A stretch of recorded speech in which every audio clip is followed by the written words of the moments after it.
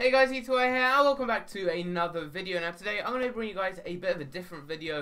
Uh, I've not done many trading videos for a while, but today I've got another one. I'm going to be showing you guys how to get the best possible start on FIFA 17 Ultimate Team. I'm going to be showing you guys trading tips, the methods you want to use, and also a couple of different interesting things you can do, which a lot of people haven't mentioned. Now, I've seen quite a few videos on how to prepare for FIFA 17, and quite a few of these things, as I said, have not been included.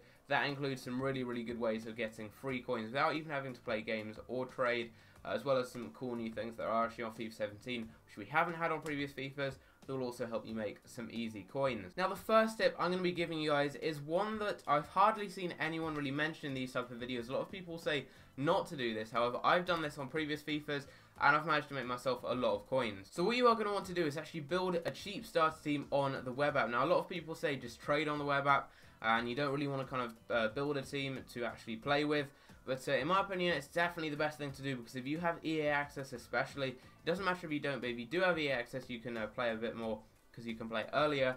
Um, but if you do build your starter team, you can use that and actually manage to play uh, a lot of games of like Starter Cup, offline FUT Draft. Not that you do need your starter team for that, uh, but uh, Starter Cup's one I definitely recommend, as well as the uh, offline seasons. I wouldn't really recommend going into online games um, because you will probably not have the best of records because you won't have the best of teams. You don't really want to be starting off FIFA 17 badly, really, when it comes to divisions. Uh, so yeah, I recommend playing a Starter Cup and games like that with the coin boost on. If you go to the catalog and uh, enable the coin boost, if you're a high enough level, you'll be getting like a thousand coins for every single game you play uh, for uh, like 50 games or so. So you can get a ton of coins. Uh, at the beginning of FIFA 15, I actually managed to make 200,000 coins in the first week of the game just by playing games. I used the coin boost and I played um, offline cups and I played the offline seasons. It's just so, so easy. You make a ton of coins doing that. And building a cheap start team on the web app is great because the player prices are going to be really low.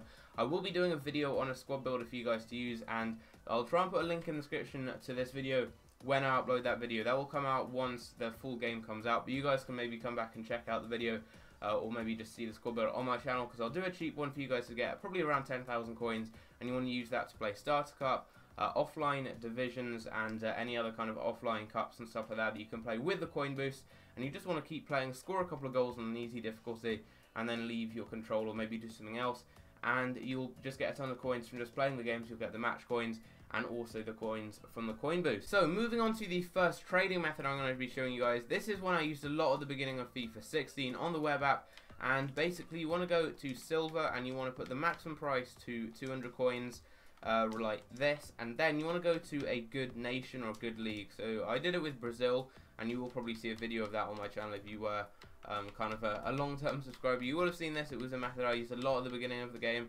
And you just want to look for players who look decent. Uh, if there is, for example, a new league, this works with the Brazilian league, but with the Japanese league, uh, you can do that because there'll be players who people will want to try out because they haven't yet been on the game. But if you see, for example, this guy here, Alves, he's going for 2,000 coins. He's actually got quite a good card, and you can probably pick him up for about 150 coins. On the web app, you may have slightly more competition, but if you just compare the prices of these players, uh, you will still be able to see obviously what they sell for. Gilberto there is extinct, another player you can just put a bid on. Uh, Daniel here's got quite a good card. What is he going for? 450 coins. I can get him for 150. And you just want to spam bids on loads of these silver players. You just want to find the ones who look quite good. Basically, anyone who's got good pace, anyone who's got maybe 4-star skill moves, anything like that. This guy's only 300 coins. It doesn't seem like much, but obviously if you get him for 150, that's still going to be profit. You're still going to be doubling your coins on him. Uh, this guy here, Bochilia, what's he going for? 500 coins. And I think he's being price fixed for a bit more. So again, a good player to bid on. This guy's got some pretty good stats to be fair uh, for a silver player. 750 coins, lowest by now. Just put a bid on him. This is such an easy method. It's one that I use every single FIFA, and it's helped me make a ton of coins. And this guy here, for example, he is extinct. Put a bid on him. He's actually got some decent stats there. Four star skill moves as well. I've managed to put a ton of bids on these cards. Let's go and see actually on the uh, transfer targets if I've managed to pick any of them up so far. Uh, yeah, I've managed to pick this guy here up. So as you see, just got him for 150 coins, and he will probably sell on for like 1,000 coins. It's towards the end of the game, so I'm not going to list him for like 2k. Um, I could if it was earlier on in FIFA, because someone would probably buy him because he's got over 70 for pace, physical, and nearly defending as well. Um, but uh, yeah, I'll, I'll, probably be able to sell him for that. List them for like one day, and you don't have to do it with Brazil. You can do it with English players, for example, as well. tons of players you can put bids on, and also all the uh, all the other kind of nationalities. There, I would recommend doing it with. Maybe not Portugal, maybe not Argentina, um, maybe not Netherlands too, but most of the other ones is good. And also you can go to, uh, not that we have it here, but you could go to the Japanese league. Now it worked with the uh, Liga de Brazil this year because of new players. People wanted to uh, to kind of see what these players were like, if they were any good. So again, with new players coming into FIFA in the Japanese league, people are going to be wanting to try them out, so this method will work very, very well. Now moving on to not really a trading method, this one is a very kind of obvious thing, but it's something that a lot of people won't do. Now, if you buy FIFA points, you may end up buying like 10 pounds worth of FIFA points every time there's a decent team of the week or something like that. It's not going to be good value for money, and it's not going to really work out for you on FIFA because you're not going to be able to open many packs. And if you open packs towards like the middle of FIFA, players aren't going for that much. So if you do want to spend any money on the game, try and spend as much as, as possible at the beginning of the game rather than maybe getting £10 of FIFA points every couple of weeks or so. Just get like £80 worth at the beginning of the game because player prices are so high at the beginning of FIFA that it's just the best time to open packs because you could get someone like Lukaku. He was going for about 20,000 coins at the beginning of FIFA 16. Now he's going for like 1,000. So it just makes sense to open the packs at the beginning of the game.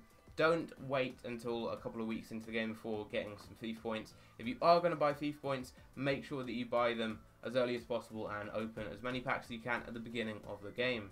So moving back to another trading method, this is another one that I used a lot at the beginning of FIFA 16, and you want to go to BPL, and then you want to go gold, and you want to put the minimum buy now to 350 or 400 coins, you want to swap between the two, and you get a lot of great players coming out. Now, at the moment, there aren't really any players who are worth picking up. I do actually have a Westwood here for 350. He's already been picked up, though I wasn't really paying too much attention. But these guys, often they will sell for like 600 coins or so, but you can often get someone like a fullback, for example. Fullbacks in the BPL sell for quite a lot. This guy here, if I can actually pick him up, I've messed up on him. 400 coins. That is a good deal. Now this guy, if we compare his price, as you can see, is going for around 1,000 coins. The minimum by now is 1.1k for him. Now fullbacks in the BPL often go for this. So at the beginning of the game, he could go for like 1.5k or so. You could get someone like Olsen. He's a very pacey player uh, someone like Kieran Trippier. All those type of players are really expensive. Uh, they'll be going for some of them nearly around 2,000 coins. Rodwell as well. That is a good deal. You just get so many players listed up because it's um, a non-rare player. People aren't really going to compare the price. And again, if we look at what he is selling for, the minimum by now is 850 coins. Uh, I'll be able to just double my coins on him. Nice and easy trading. This method works very, very well. And uh, it's one I just definitely recommend. It's so easy because you're going to have a lot of players coming up, and hardly anyone seems to use this method. I don't know if I invented it, but I never really saw anyone else using it.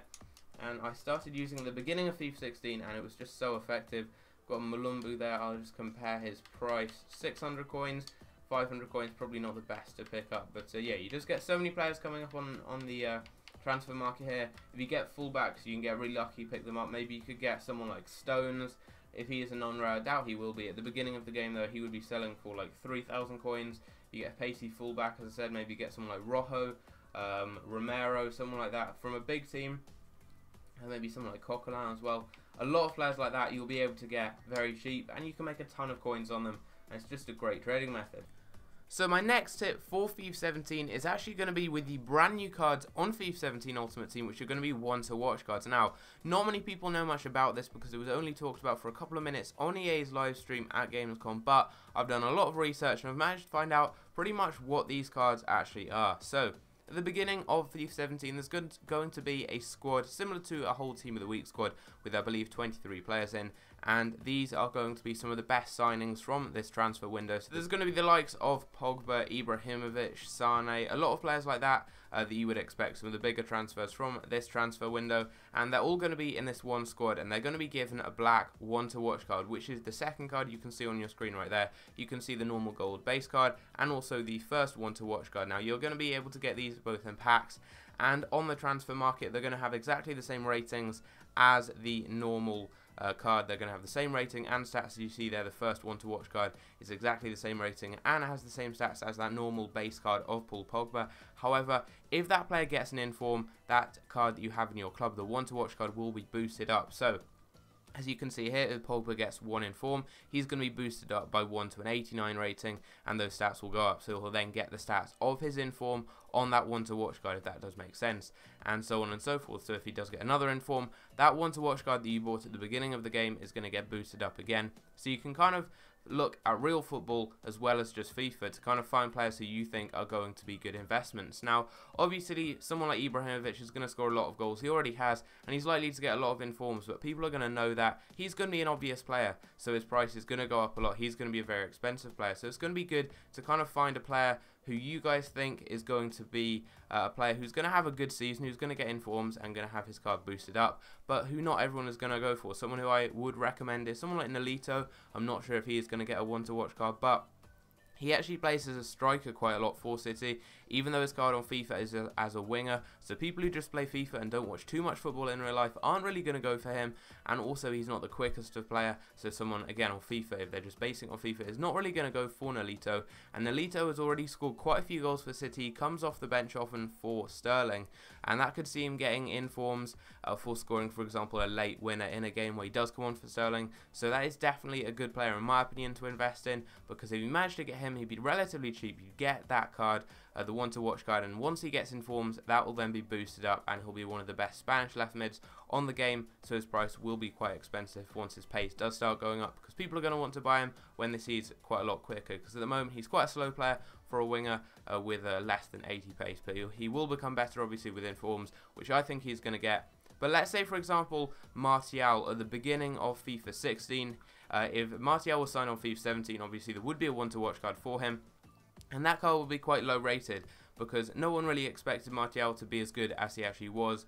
Um, and his his price would be quite low, but obviously he got informs on FIFA 16. I believe he got three informs. So if you managed to get the one to watch card of Martial at the beginning of the game, he would have then been boosted up over time in FIFA 16. So I don't know, maybe there is a player who you guys will think uh, may do as well as someone like Martial this season who wasn't really that well known maybe at the beginning of this season here. So you never know, there could be some interesting players. I will do a video once they do officially get released, the one to watch cards on the best players to pick up. Um, but uh, yeah, it's quite complicated. Hope you guys have understood and you basically just want to find kind of a hidden gem player who you guys think is going to play well over the course of next season. And then if you do pick him up, keep him in your club and he's going to get informed hopefully during FIFA 17 and you can either keep him or sell him on for profit. And I will actually be doing a video on the one to watch cards going into even more depth and detail on them in the following couple of days. But uh, yeah that is a very very good tip for FIFA 17. So back to another trading method. What you are going to want to do for this one is look for BPL fullbacks. I was talking about this earlier on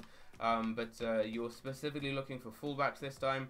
Now at the beginning of FIFA 16 they were going for about 1000 coins so you do this right here and then you try and snipe them. But as you can see, there are a lot on the market right now. So if you bring that price down to about 750 coins, there we go. There are none on the market for that. So now you're going to be trying to get all these type of players here. Uh, that could actually be a decent deal there, Janmaat. Uh, he's going for about 1.2k. So there we go. We've already managed to get a deal. Janmaat for 800 coins. Uh, if you get basically any rare players using this method, pick them up because you're going to be able to make coins on them. So I can sell them for about 1.2 there. Nice bit of profit there. But basically, you are going to want to try and snipe fullbacks for cheaper than they're selling for, because everyone is going to probably build a BPL starter team. I mean, not everyone, but I'd say 90% of people will try and build a BPL starter team. So um, they're going to want a fullback, and that's just a, a kind of vital player. Pretty much every formation people use has a fullback in. So these players are going to sell for quite a lot. As you see, 750 coins at the end of FIFA is a lot, and towards the beginning of the game it's going to be like 1,000 coins plus. Uh, it's the same for left backs as well, but you just want to try and snipe them. And people were getting some crazy deals. Walker was going for like 10k at the beginning of FIFA 16. People were getting him for like 700 coins. So yeah, you can get some great deals. People are going to be listing non-rares for like 400 coins, not really thinking they go for too much. However, uh, people like Olsen, people like Trippier uh, will sell for a lot. Look at that, 450 coins for Trippier. There we go, just as I mentioned his name. Get him for 450, and I can sell him on for about 800 coins, I'd say which is a great deal right there. That just goes to show how effective this method is, and uh, yeah, you can also do it with left backs right here as well. So it's such an easy method and what I would definitely, definitely recommend you guys to try out the beginning of FIFA 17. Next up is going to be an investing trading method, and what you want to do is invest in pacey players from good leagues, preferably the BPL, and you want to specifically go for players who people are going to want to try. You don't want really want to get uh, players who don't look the best because their prices aren't going to rise up too much. You want to get players who look good uh, and uh, some of the best players for their price in their position. So I wouldn't really recommend going for someone like, uh, let's say, Kevin De Bruyne. He's going to be very expensive.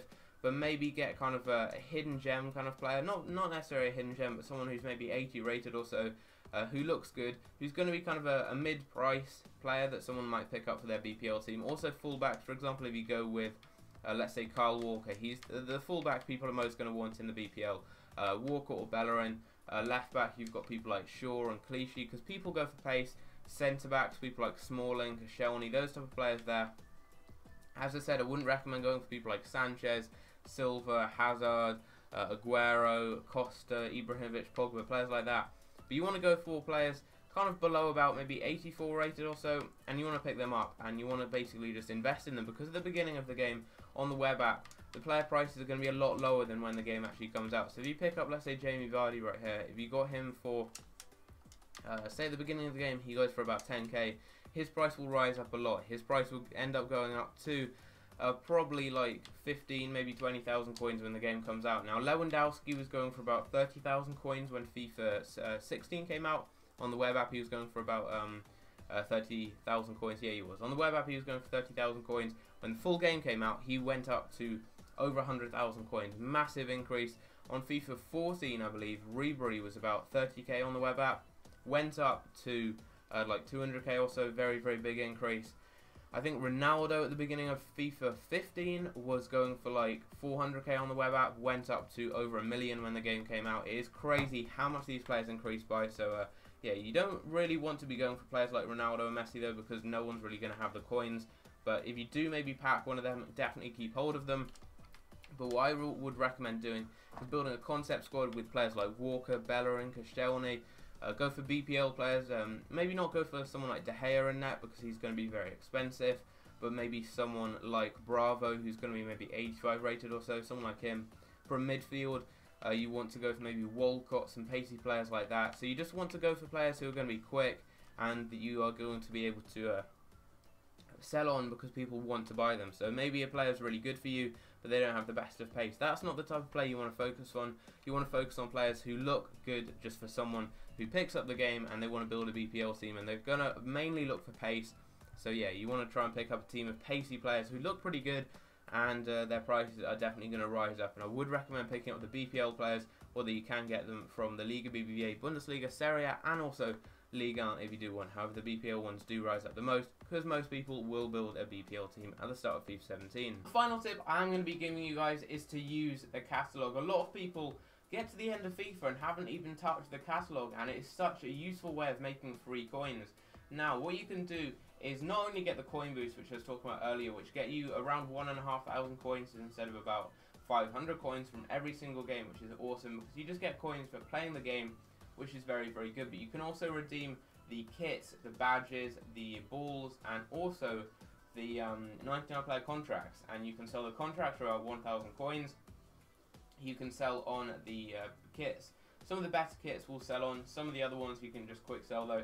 You can make about 10,000 coins just from all the kits available, and also you can uh, discard all the balls to make about uh, 1 or 2,000 coins extra as well. So you can get a lot of coins from that, which you can maybe invest into getting your star team or something like that, which is pretty cool.